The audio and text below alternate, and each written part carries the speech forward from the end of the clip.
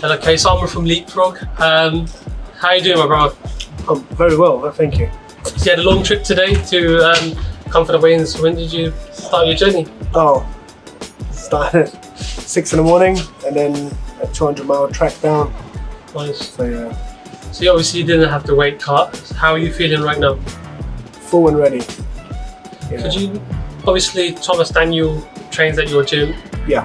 Um, so what do you, do you know much about Rhys or has he influenced how you're going to train and prepare?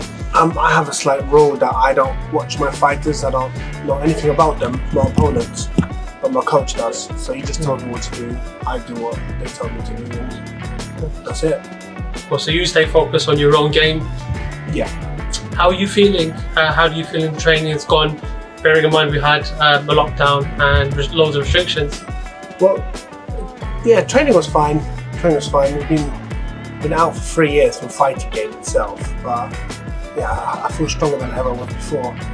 So it's good. I got a new coach, so Do you feel being away from the game for so long has kind of allowed you time to recover and recoup and kind of reassess how you um, how you fight?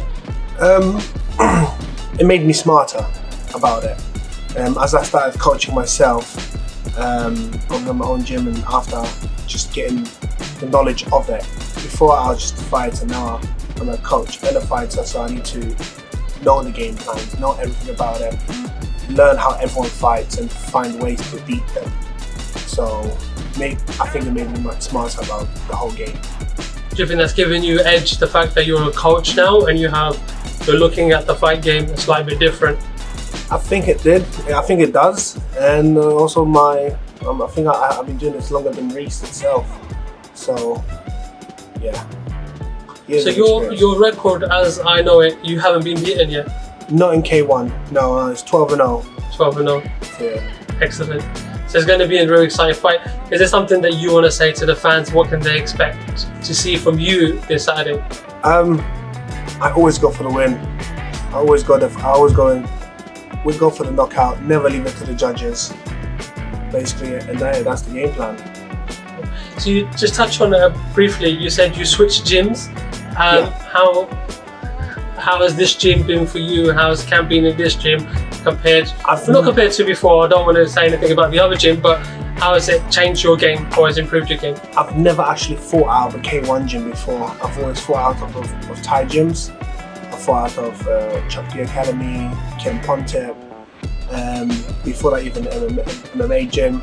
This is the first time I'm actually training and fighting out of a K1 gym with a K1 coach. And it's made a big difference. It's made me learn to understand the sport more. So yeah, Cool. Um, where do you see yourself after this fight? So let's say this fight's happened and you just returned. Do you have an idea, or is it just literally one fight at a time? Um, currently, I have a goal. I need to accomplish this to Yeah. call out the next person that I want to fight. And um, personally, I don't like the next person that I want to fight, so I just really want to, I want to fight them, show them that they're not that great. I'm better. Yeah. So um, during this camp, is there anyone that you want to thank? Um, anyone you want to shout out? Um, yeah, all my sponsors that have been helping me out, and Gary, of course, um, for coaching me, and everyone that's basically taken the beating from me uh, to get ready for this fight. So yeah, big help. It was massive help.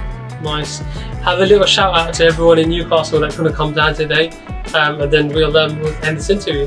Um, it's from Middlesbrough, Middlesbrough, Mi- Middlesbrough and York.